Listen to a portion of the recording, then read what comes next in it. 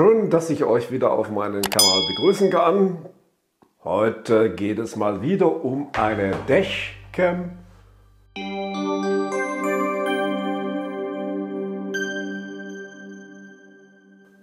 Ich habe schon einige dieser Cams vor der Kamera gehabt.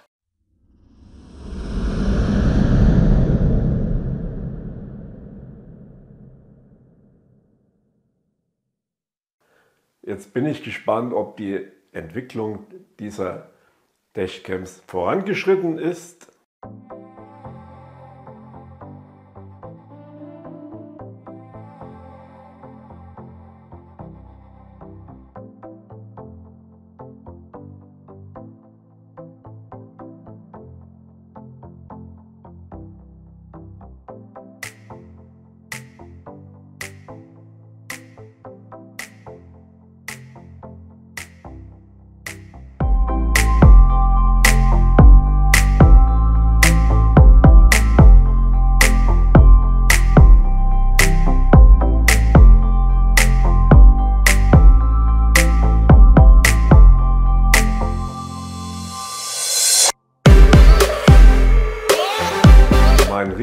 Sich natürlich wie immer so gestalten. Wir werden uns erst einmal genau die Verpackung unter die Lupe nehmen. Wir werden es rausnehmen, die einzelnen Elemente mir auch genau anschauen. Dann versuchen wir mal ins Menü zu gehen und zum Schluss müssen natürlich Aufnahmen her. Nachdem ich die Kamera dann im Auto montiert habe, werdet ihr einige Kostproben der Aufnahmen von mir auch sehen. Also, schön dranbleiben. Ja, wer meine Reviews kennt, der wird wissen, dass ich immer einen sehr sorgfältigen Blick auf die Verpackung werfe. Das mache ich auch dieses Mal. Ihr seht ihr, man kann die Bezeichnung der Kamera entnehmen. Man hört schon oder man liest schon, dass es eine Dash-Kamera ist, also eine Kamera, die man im Auto verwenden kann. Und hier seht ihr, dass sie sowohl eine Frontkamera als auch eine Rückkamera zu besitzen scheint. Hier dieser Maggi-Ding-Gag 1080p, das ist mittlerweile Standard. Das gilt aber eben halt nur für die Frontkamera. Hier der Hersteller, hier werden die Symbole uns schon einen Hinweis geben auf das, was wir hier erwarten können. Motion Detection, ja liebe Freunde, das ist nicht etwa, wenn einer bei meinem Auto vorbeiläuft, dass ich den dann äh, aufnehmen kann. Das gilt immer für die Bewegung des Fahrzeuges. Also wenn das Fahrzeug bewegt wird, dann löst die Kamera unter Umständen aus, wenn man das einstellt. Wir haben eine Schleifenaufzeichnung, das heißt also keine Angst, die Speicherkarte wird nicht äh, voll und dann wird nicht mehr aufgezeichnet, sondern die wird zyklisch überschrieben. Dann werden die ältesten Aufnahmen mit den neuesten überschrieben. Hier ein Hinweis auf WDR, White Dynamic Range. Das bedeutet, dass wir eben einen sehr großen Kontrastumfang abdecken können, was ja bei einer Dashkamera erforderlich ist. Und hier noch ein Hinweis auf den Beschleunigungssensor, der dann, wenn das Fahrzeug in starker Beschleunigung gerät, Aufnahmen sperrt. Das wiederholt sich dann auf der Rückseite nochmal in etwas ausführlicher Form. Hier wird auch noch etwas zur Auflösung der Rückkamera gesagt und der Frontkamera. Die Rückkamera löst nur 720p auf. Hier etwas zur Lichtstärke des Objektives. Das ist dann ein bisschen irritierend, ob das jetzt für diese Kamera oder für diese Kamera gilt. Das werden wir dann sehen. Und hier ein Hinweis auf den Blickwinkel der Frontkamera 170 Grad ist, also dann schon ein ziemlich großer Blickwinkel, der alle drei Spuren im Visier hat. Hier Hinweise zu dem Hersteller und das ist wieder was ganz Wichtiges. Das taucht jetzt hier zum ersten Mal auf. Ich hoffe, dass es dann auch auf dem Gerät fest verankert ist. Die entsprechenden Prüf- und Kontrollzeichen, eine Zertifikation äh, CE ist also vermutlich vorhanden. Wir werden sehen, ob das dann auch auf dem Gehäuse der Kamera fest verankert ist. Ja, nachdem wir uns die Verpackung jetzt angeschaut haben, nehmen wir es doch einfach mal aus der Verpackung raus. Mal sehen, was da so alles Schönes mitkommt. Das geht immer ein bisschen schwer. Da habe ich schon einen Fehler gemacht. Ne? Hoppala, da kommt ja gleich eine Speicherkarte mit.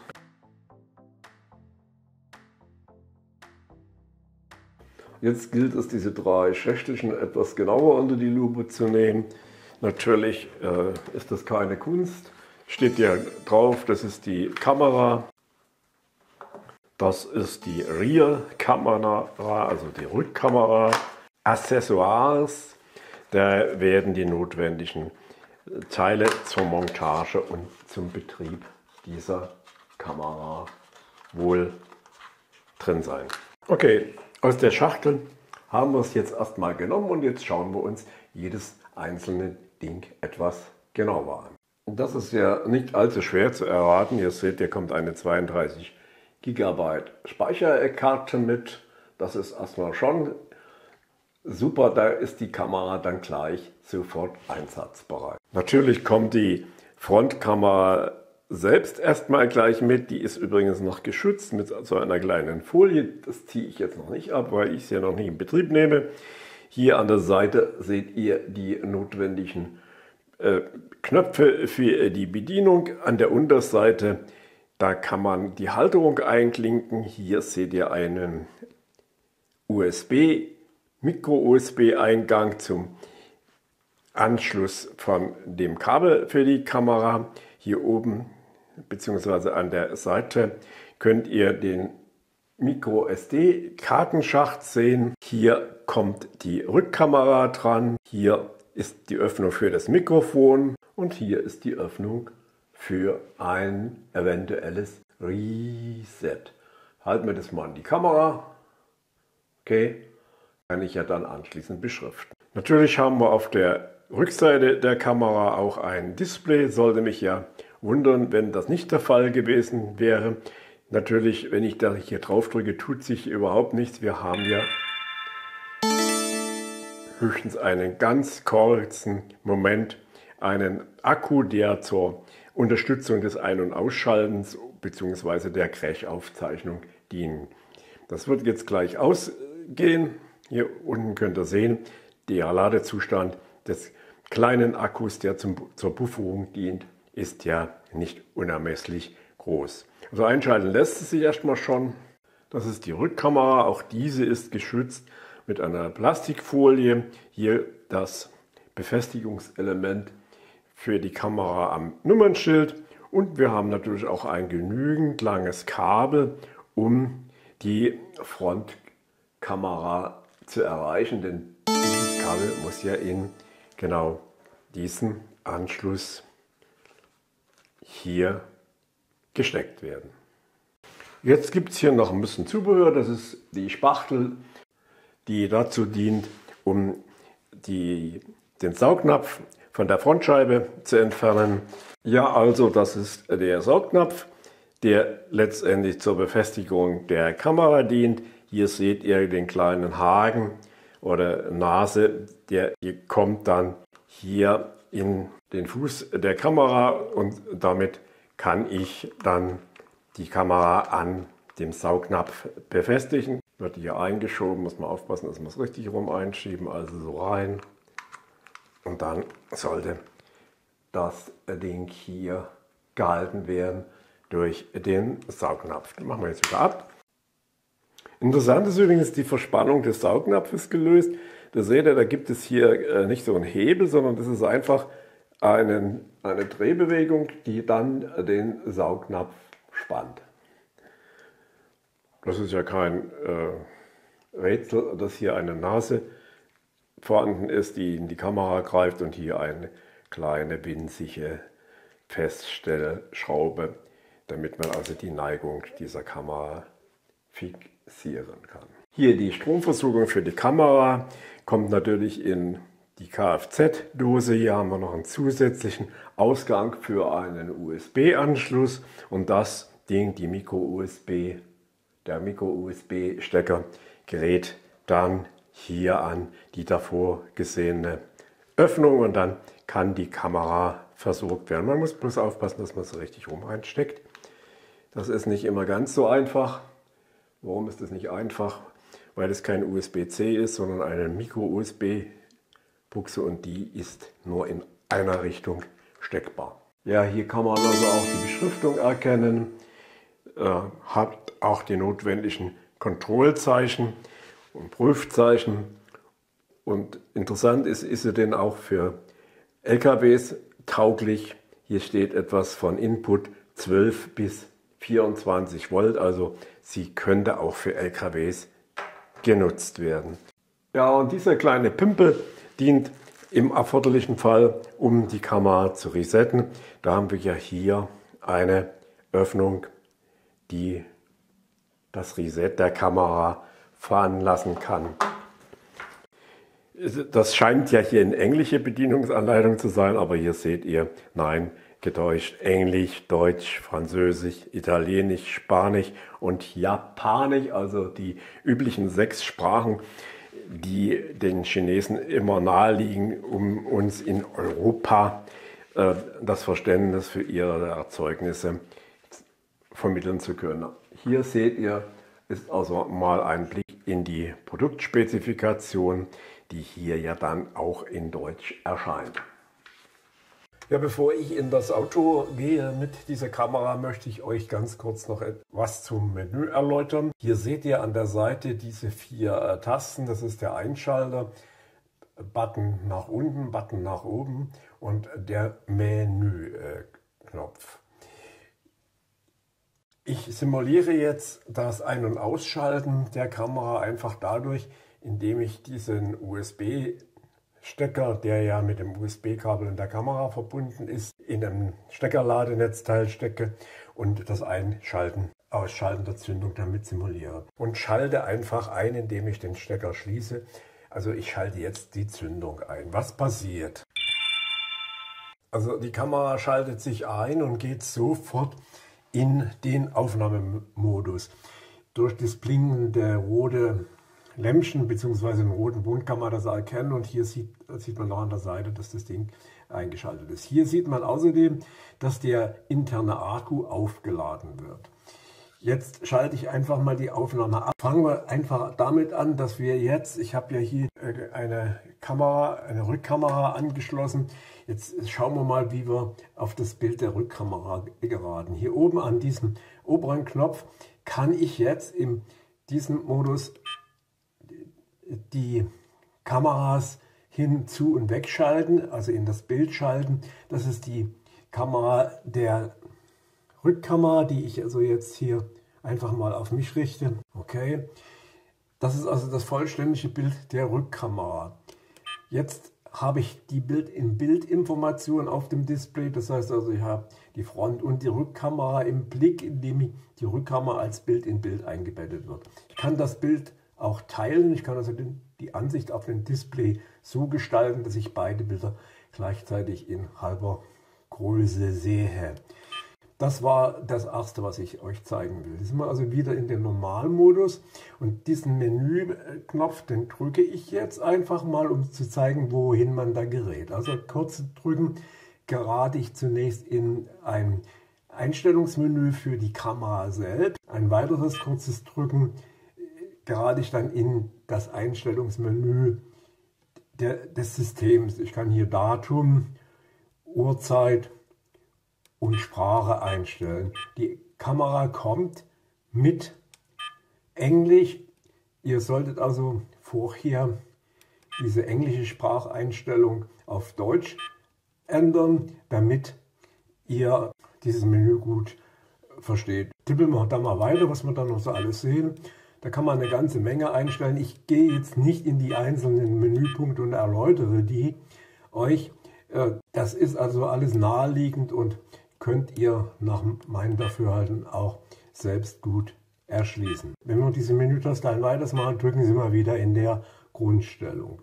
Wenn ich diese Menütaste lange drücke, dann gerate ich in den Modus. Jetzt bin ich also nicht mehr in den Videoaufnahmemodus, sondern in den Bildaufnahmemodus. Ich kann also jetzt ein Bild schießen.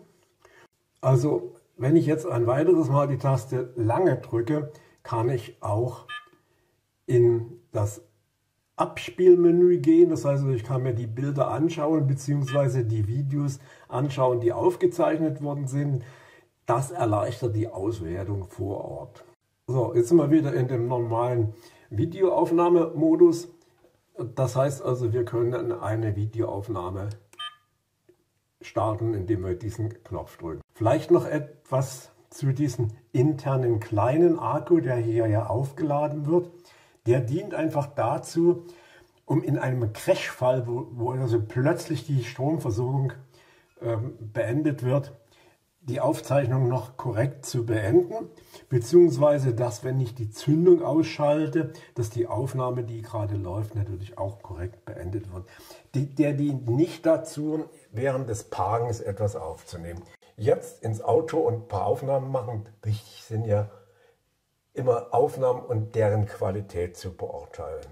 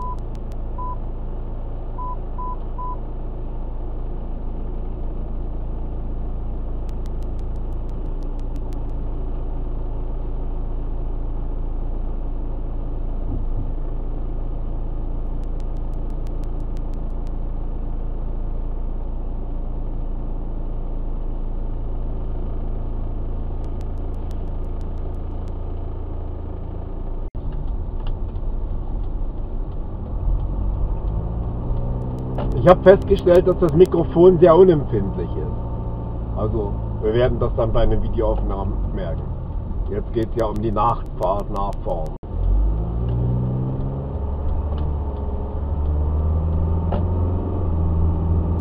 Also die Scheinwerfer leuchten die Fahrbahn schon ganz gut aus. Jetzt kommt darauf an, ob, inwieweit wir jetzt beim entgegenkommenden Verkehr Blendgeräusche haben. Zum Beispiel. Äh,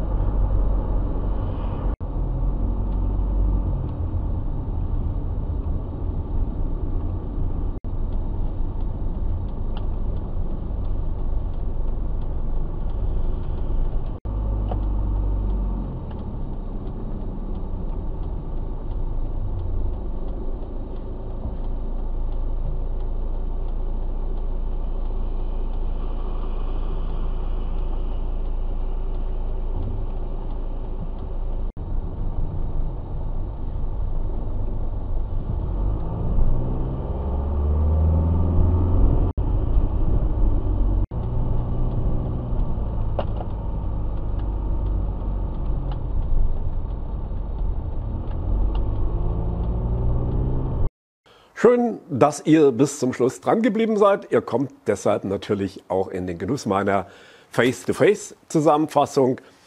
Die erwartete Innovation ist ausgeblieben.